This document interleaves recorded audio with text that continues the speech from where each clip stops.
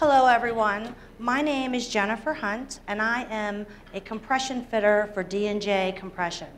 D&J Compression is a national billing provider that has been billing compression successfully for almost 20 years.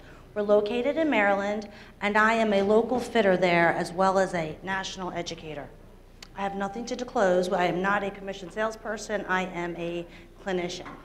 Um, we want to talk about the purposes of compression therapy.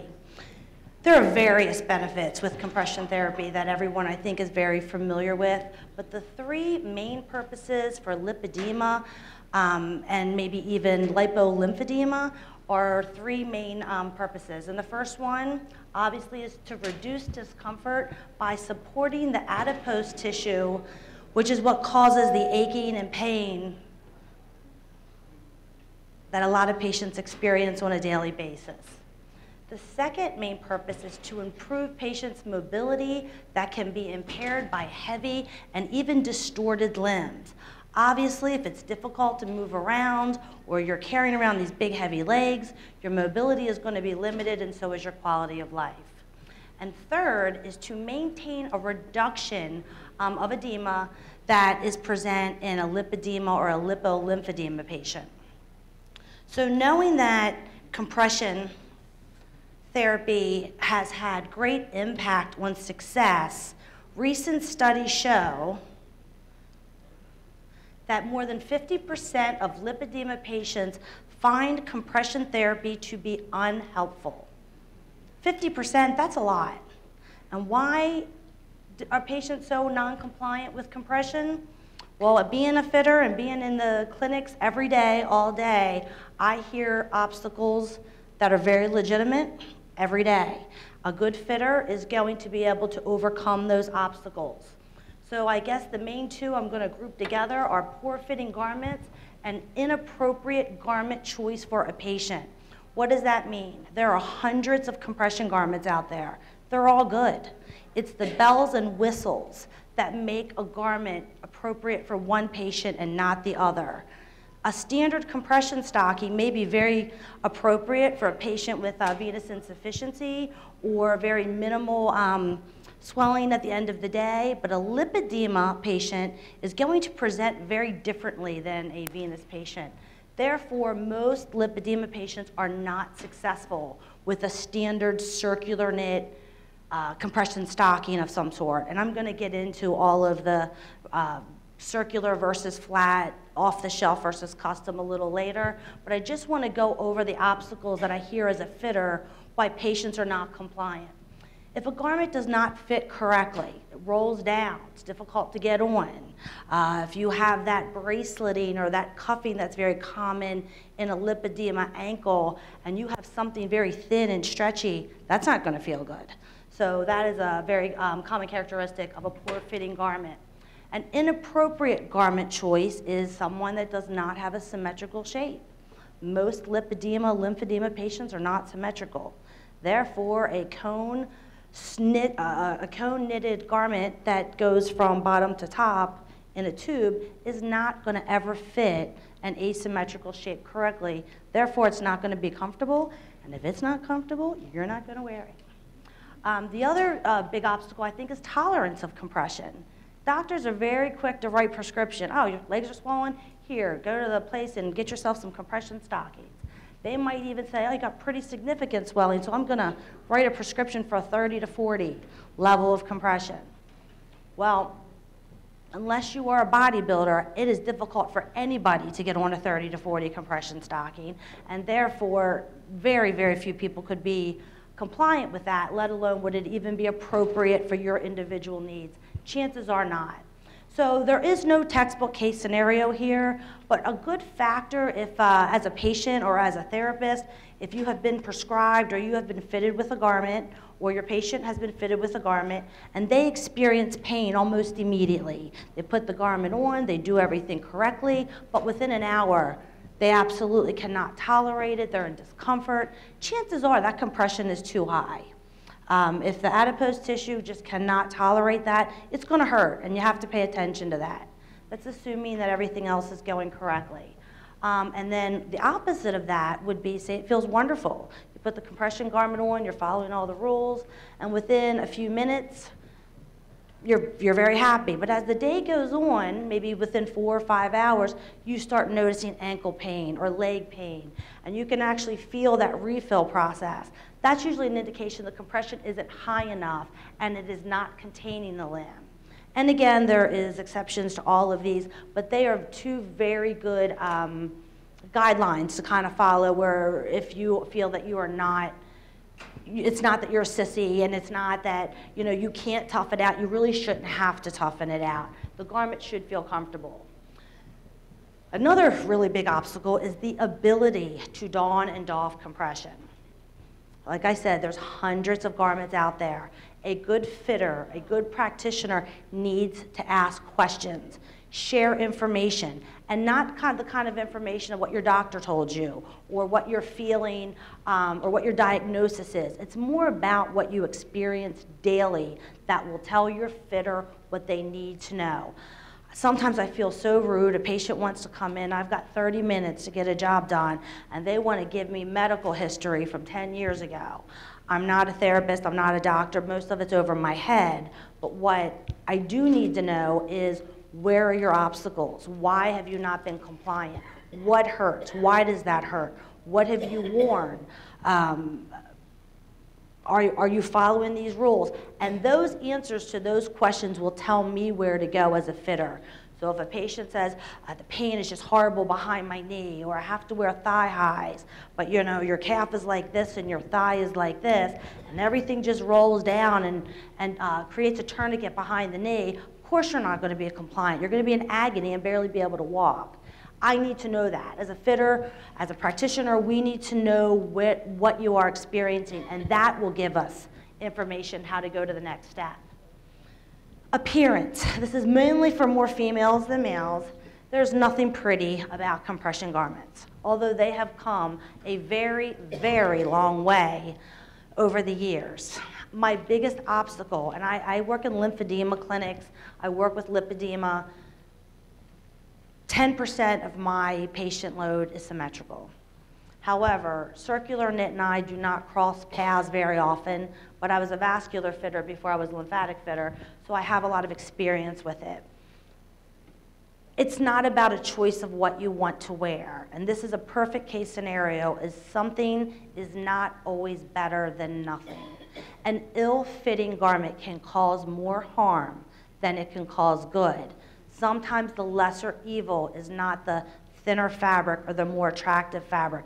You can actually cause yourself harm by wearing a garment that is inappropriate for your shape or your condition. So again, a qualified fitter or a good clinician is not going to give you that option. Nobody can prevent you from going to the internet and ordering what you want, but at some point it's going to humble you and you're going to end up back in your fitter's uh, case room and, and you're going to get compliant one way or the other. Um, I cannot make them prettier, although I am very pleased at the bells and whistles that they have come up with the last few years. I've been asked not to be loyal to any particular vendor, and I'm not. My job is to know the bells and whistles of all of them. But there are vendors out in the hallway, and ask them. They want you to use their product. They want to sell you product. If you don't have a good fitter, find a local rep. They'll help you find a fitter, or they'll fit you themselves because they want you to use their product. The resources are out there. Use them and ask questions. Um, last but not least is the cost. Whenever we don't, we're not dealing with symmetrical or vascular, this stuff is expensive. Uh, any kind of hosiery-like garment that's flat knit is made in Germany. It's very expensive. I've seen it. I've seen it during the manufacturing state, and if you saw the time and the knitting and the expertise and the cost of the machines that make it, it makes sense why it's so expensive. People feel that insurances usually don't cover. That is not true. Um, the reimbursement varies from state to state. So sometimes local medical supply companies choose not to bill your insurance, but that does not mean your insurance doesn't pay. So understand your policy. Most of the time, compression garments come under durable medical equipment. So if someone's telling you, oh, your insurance doesn't pay, call your insurance company. Find out what your durable medical equipment benefit entails. And if you have that benefit, ask about compression garments. That's usually custom, they're flat knit. Your local DME can give you the CPT codes that you might need to feel comfortable whether or not you really do have to pay out of pocket or whether or not there is insurance coverage. Moving on, which garment to choose? Now, I could stay here for four days and go over a thousand options. However, they don't let me do that. So, and I couldn't have showed pictures because I would have to show partiality. A lipedema patient and a venous patient or a mild lymphedema patient have choices. There are circular knit garments, which I think most people have experienced at one point or another, and they are usually ready to wear garments, but they are available in custom if needed. They are seamless, they are thinner than a flat knit, they are stretchy, more attractive. They are available in both open toe, closed toe, upper extremity, lower extremity. They are appropriate for minimal symptoms. Um, patients that do not present in the foot or they don't have the ankle cuffing usually will get great relief from a ready-to-wear gradient compression stocking, and lucky them, because they are affordable, they are easy to clean. Um, all of them probably wear out in about six months, but for the most part, it's a doable, it's a doable maintenance. It's pretty simple. They look like something that you might buy at a department store now, so you just pay a lot more for them, but they work. Symmetrical shape of a limb is critical for a circular knit garment. So if you do not have a symmetrical shape, whether it's just because of the way your body is or whether it's a lipedema symptom, it, it's typically probably not going to work for a circular knit. I can't say there's not a um, exception to every rule, but for the most part, my experience has been an asymmetrical shape just cannot wear a garment like that. So now we're going to go into the flat knit. This is where the Germans have um, absolutely have created a product that dates back to the 1800s that not only work, but if fitted correctly, they are extremely comfortable. They will minimize any kind of symptom that is associated with lipedema and lymphedema, even severe vascular insufficiencies. Typically, or almost always, they are custom made. I think there are some manufacturers out there that wanted to be great at everything and they tried to do some ready to wear flat knit garments, but it almost contradicts each other because if you could have a ready to wear flat knit, you probably didn't need a flat knit. So therefore, it just kind of contradicts each other. Um, it is a seamed garment. And although that sounds terrible and has a seam up the back and you think that might be worse than death, the beauty of that seam allows that type of garment to be darted. And this is where the characteristics for lymphedema is absolutely critical. So that braceleting or that cuffing at the ankle that we talked about, a lot of lipedema patients will have no swelling in the foot or maybe nothing in the hand, but the arm or that ankle, it's almost like a shelf. It just comes out of nowhere and it refills. And sometimes it gets hard and painful. One of the options that you could have on a flat knit is they will dart that area. Wherever there's an area of flexion, a wrist, uh, ankle, an elbow, the bend of the knee, the hip, that garment can be darted, which allows that flexion without causing restriction. So not only is it much more comfortable, but it doesn't allow that um, adipose tissue to refill in that very critical area. So that is one of the most beautiful uh, features of a, of a seamed garment. The other thing about flat knit is it is very suitable for asymmetrical or distorted shapes. So we were talking about lack of mobility. Patients complain that they cannot get around, they can't go up steps, they can't work, they can't stand for long periods of time because gravity is bringing all of that fluid, all of that heavy tissue down. By wearing a flat knit, which has very little give, it contours to the body and it lifts that adipose tissue up it does increase the circulation, which will give you many more hours of being able to stand on your feet or having comfort or not feeling that heaviness. Um, and again, it's a difficult fit, but if you have a good fitter that can fit you correctly, it's, it's, it's life changing. It really will allow you to live your life without limits. And that's, I think, what everybody's goal here is, is quality of life and being able to do daily activities without limitations. Um, there's a whole another stream of choices in the flat knit world. And what I mean by that is there are softer fabrics, there are uh, less giving fabrics, and then among those fabrics, there's levels of compression. A lymphedema patient typically will present very hard and fibrotic, easy, easy fix. Use very heavy fabrics, high levels of compression. They can tolerate it because they have so much hard tissue. Lipedema patient, it's different. Complicated. Everything hurts. A lymphedema patient may not experience pain. So even though they need the flat knit, you got to think the other way. It's less compression, softer fabric. And when I say softer, a flat knit means that the fabric is sewn flat. So the integrity starts at the very tip of the distal end of the body, so right at the toe area. And then it's pulled together and it's seamed. But they, every company, even the ones out, out here, that make flat knit have variations of it. So a lipedema patient that has very soft tissue would do much better with lower levels of compression and a softer flat knit fabric because their tissue is softer and they will feel that compression so much more intensely than, say, a lymphedema patient or a patient that has fibrosis. Now, a lipolymphedema patient is a patient that has both, and this is tricky.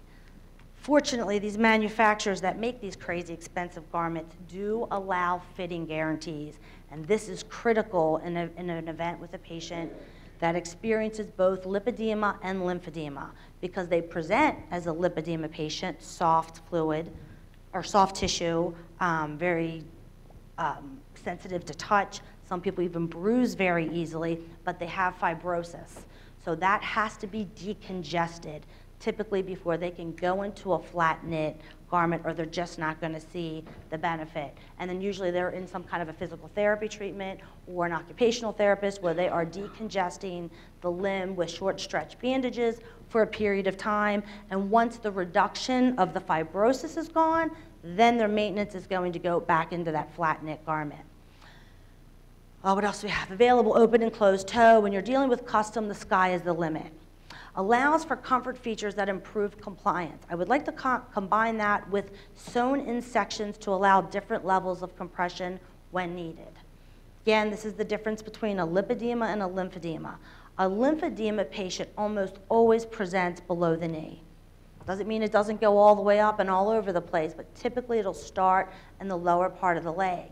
Lipedema patients do not always present that way. Sometimes it's just above the knee and fluid takes a path of least resistance. So you can't compress just the upper leg, or the fluid's going to go to the bottom leg. However, the level of compression that they need above the knee may be higher than what they need below the knee. So how do you overcome that? Anybody? So it's layering. So again, it's very, um, it's a costly option. It's very, very effective, and it's custom made. So what you can make for your patient is a below the knee stocking, whether you want to use something circular if there's no presentation there at all, or maybe you are using a flat knit just because of the shape of, of the patient's leg, um, and you need the bells and whistles of a flat knit, but maybe less compression. And then you layer it with maybe a capri pant, or maybe a thigh-high legging, which is like a footless legging, or footless thigh-high. And it's the overlapping of the garment that will allow for different levels of compression where the patient needs it. Now, again, a qualified fitter is going to know you can't really go from like a class one below knee and then a class three forte above the knee. You're going to have some kind of transition at the knee. But there is a way to overlap properly where the patient is only getting the maximum compression where they need it as opposed to having to suffer all day with sore ankles because they need the compression in the thigh. So the other advantage of a um, flat knit that has sewn in levels is the abdomen area. So a lot of lipedema patients will discover fullness in an abdomen and maybe the very top part of the thigh and then nothing else. You can actually have different levels sewn in the compression panty, part of a capri pant, and then different levels in the legs, and then again, different level again in the knee high. So now you're really isolating the areas that are of concern. What does that do?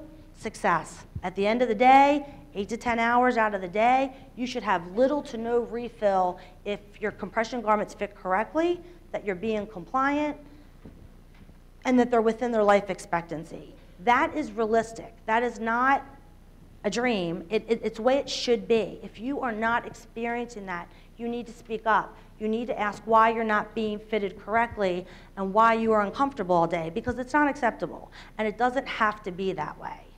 Um, and then the last thing that I want to talk about at the flat knit is the quality of containment in a flat knit is a little different than circular knit. So um, maintenance of a garment is extremely important.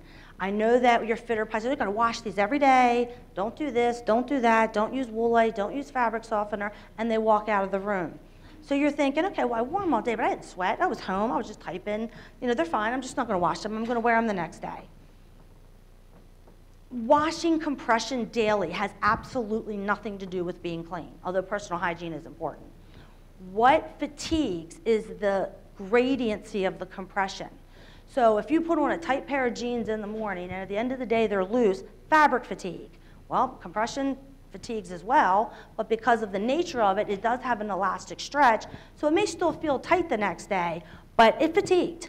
So that gradiency isn't there. You have completely compromised the garment. So when you put that on the next day, you're not going to get the same effect that you got the day before. What happens? It slides down it bunches, it gets caught behind the knee. Like, I hate these things. I don't know what that girl was talking about. These are just as bad as the other ones.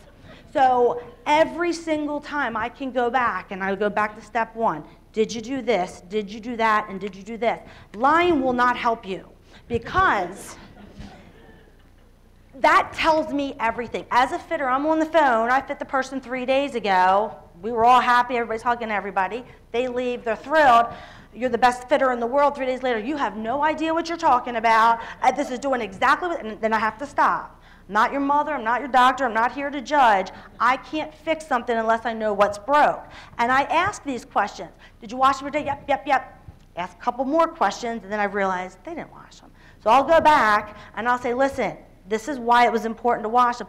Well, you know, I may not have washed them the one day, or, you know, I just kind of rinsed them out a little bit. They have to be washed. So it is a pain in the butt if you only have one set. Like I say, insurance companies typically, not all of them unfortunately, but typically do pay. And the ones that do cannot discriminate and say you can have this, but you can't have that. So either they pay, it's a, it's a covered code, or it's not.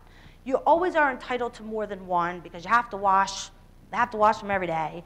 So usually I'll do a custom garment for fit, make sure it fits correctly. There's a trial period. If anything needs to be fixed, they'll remake it 10 times for free. And then we go on to the second set. So once you have two, you can wash and wear.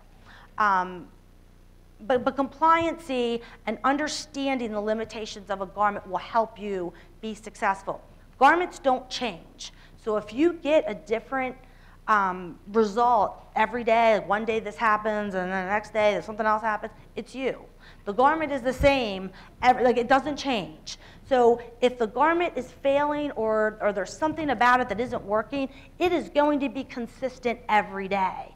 Read, read the directions. Call whoever fits you with them. Ask questions. Stuff's expensive. Somebody's making money off of them. Speak up and ask, hey, why, why am I experiencing this? And it may be as a fitter, that's how you learn. If I get 10 people that have the same complaint, and I figured out how to fix it on the first two, now I'm thinking that in my head when I go to my next patient. So there's nothing but education available by you ex expressing what you're feeling. You're only going to educate the fitter, you're only going to educate the manufacturers, assuming that everybody's following the rules. So that's about all I can really say about flat knit. Um, it is expensive, it is wonderful, it does work. It is hard to be compliant when it's hot. Can't take any of that away. But I can tell you that if you feel better every day, those other obstacles aren't so, aren't so bad. And I think that's, that's the goal here is we get past the obstacles. Um, the other thing I, I didn't really talk much about because I don't know how applicable it is for all lipedema patients, is nighttime garments. You never sleep in gradient compression. So there are dozens and dozens of company that, companies that make things that you can wear at night. And this might buy you freedom every now and again when you're going out to dinner with your husband or you're going to a wedding or you're going to an event and you only want a couple hours of freedom. A lot of times the nighttime garment can decongest. So although you don't have anything protecting yourself as far as refilling, depending on the aggressiveness and the quality of a nighttime garment, sometimes that can kind of reverse whatever damage you did and get you back to square one every morning. Uh, an expectation of any type of garment is about eight to 10 hours. You should be able to do whatever you want, whether you're a triathlete or you sit at a computer all day. You should be able to wear compression and have little to no discomfort for about eight to 10 hours. You can leave them on for 15. However, it did its job after eight or 10 and take it off, call your losses, and, and go into a nighttime plan if you have one. And ideally, you want to be waking up every morning at that personal best. And when you're not at the personal best anymore, you got to start thinking, how old are these things? When was the last time I saw my doctor? And maybe make an appointment with your fitter and be refit. So add it into the budget because it is a necessity. So the alternative to gradient compression or hosiery-like garments are adjustable garments. These garments have become the greatest and latest for lots and lots of different reasons.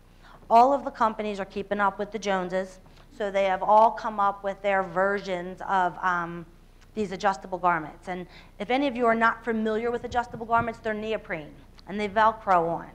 Some of them are custom made, some of them are ready to wear, some of them are just for the lower leg, some of them compress the whole leg. Recently, they have now come out with arm sleeves.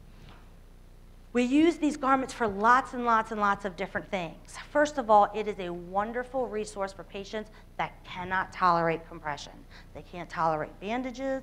A lot of times they've been in and out of wound care. They just can't tolerate it.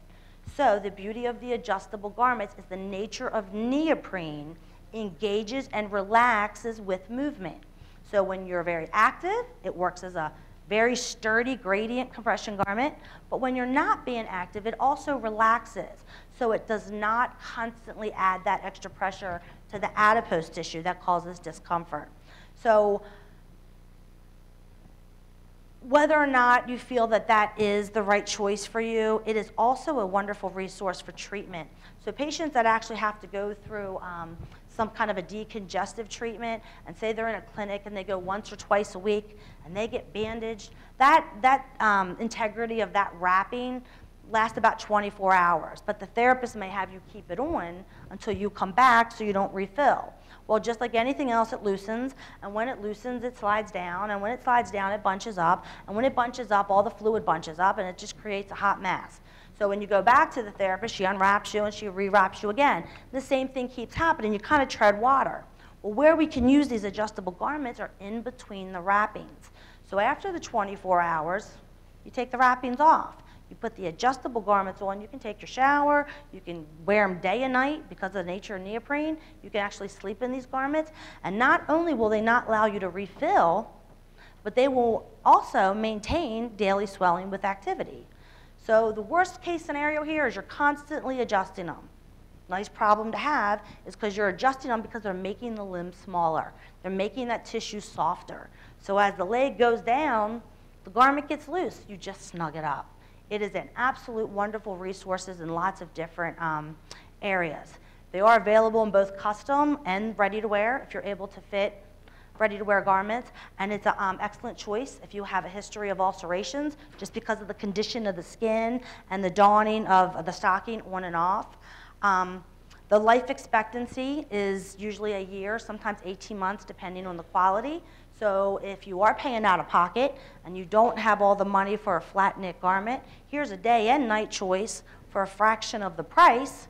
It's not going to look pretty in a dress, but it'll work and it'll be comfortable. Um, in most cases, it's definitely more cost efficient if there is not any insurance coverages.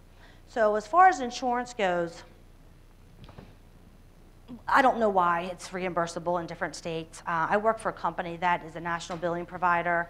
So what we have found is in uh, certain states, the insurance companies reimburse at a higher rate than in other states. So a lot of therapists that have to measure and fit their own patients because they don't have a local fitter because there's not enough money for um, a DME to educate someone like me or someone that's interested in fitting. So the therapist does all the work. While their job is to reduce you and to treat you and do manual lymph drainage, they don't know, they don't have the ability to know every garment out there. So we offer webinars. Um, I personally educate online. I have done FaceTime and Skype fittings with therapists in other states to walk them through that scary custom fitting. Um, process because you know these things are expensive. Therapist gets nervous. Like I don't want to measure somebody for a garment that costs seven hundred dollars, and you know what if I make a mistake? What if I do that? I walk them through it. We do it through FaceTime. We do it through Skype, and that way the patient, I mean the therapist feels comfortable. The patient gets fit with something that they are able to. Uh, contain with, and then they're able to utilize their insurance because it's being billed in a different state. So it's kind of, of a win-win for everyone. Um, we do have a website. It is D and J compression.com. Uh, and on that website, there's everything from measuring forms to uh, having your insurance checked to see if it is a covered commodity, if you've been told uh, that it's not. Um, and it, it's just a wonderful resource. And again, we're not loyal to any manufacturer. We don't make anything. We are there to provide patient with a appropriate fitting garment so they can have a successful and a more compliant life. Now, I did see the two-minute thing wave. Does anybody have any questions? Okay, sorry. Okay.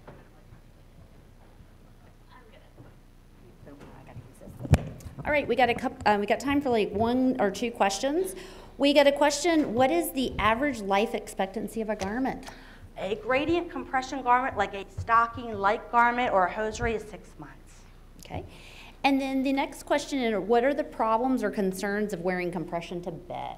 Never, ever, ever, ever, ever, ever wear gradient compression to bed because when the heart rate goes down, the compression stocking is still the same strength. So we are not trying to push fluid up when the heart is down. That's why they make very specific decongestive garments at night. Now, the exception to that rule is the adjustable garments that we told that I was talking about that are neoprene. Just because of the nature of neoprene, when you're not active, that garment will automatically relax. A stocking doesn't know how to do that. It's just going to be what it is. And it creates a tourniquet. The fluid doesn't know where to go. So it ends up as like a reflux. It can be very damaging to your veins. Okay. Well, thank you so much, Jennifer. We appreciate it.